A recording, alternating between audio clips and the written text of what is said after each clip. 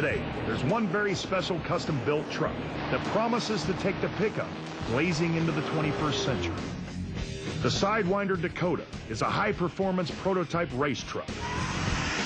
It was built to try and break the world record for the fastest pickup truck. To do that, it would have to go over 210 miles an hour. A daunting task for a truck with the aerodynamics of a brick. The Sidewinder was designed by Gale Banks and his team of engineers at his shop in Azusa, California. We're a consulting engineering company that does engine design, propulsion system design, a total drivetrain, or complete prototype vehicles. Banks is the go-to guy when Detroit wants their future engines tested. I'm a hot rodder. I've done this all my life. Started in 1954, hot rodded my first car between 54 and 56.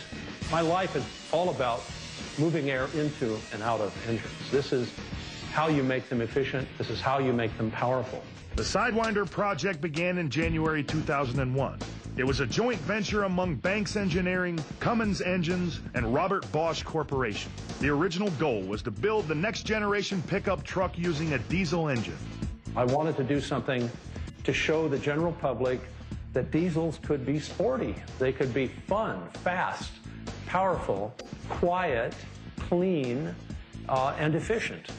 And they could do all of this in a much smaller package than a full-size truck. When Banks got a hold of a new common rail fuel injection system, along with a radical variable geometry turbocharger, he figured he could get the truck to go over 200 miles an hour. The variable geometry turbocharger allows you to have a big turbocharger, but good response from an idle.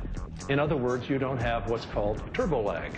To go where no truck had gone before, Banks and his team fitted the turbocharged engine into a custom-built Dodge Dakota. The engine, it turned out, was so big they had to extend the dashboard nearly a foot. We took the horsepower to 735 horsepower, the torque to 1,300 pound-feet of torque, and we literally beefed up the rest of the drivetrain and did the suspension properly so the truck would be very good at over 200. Check out the final product.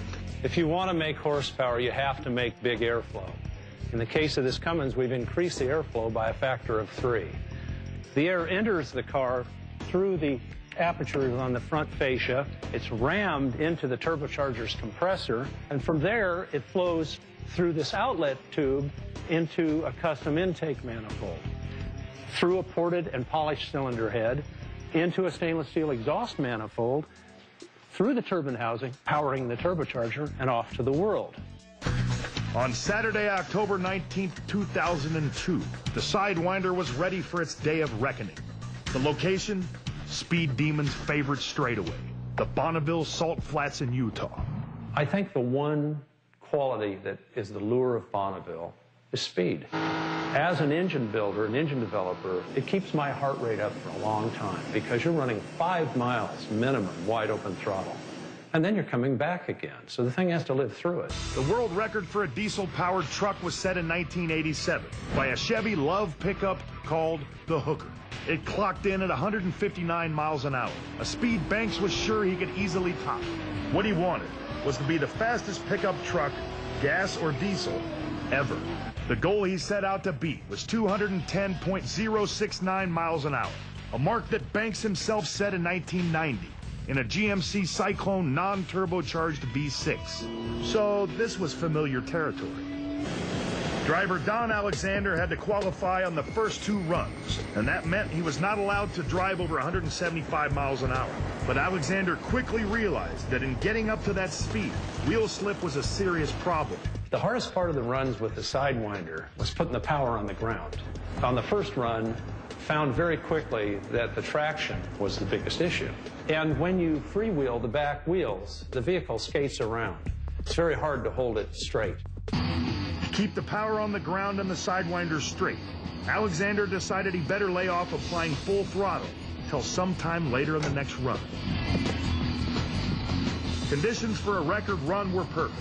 It was clear, calm, and cool. The salt was firm.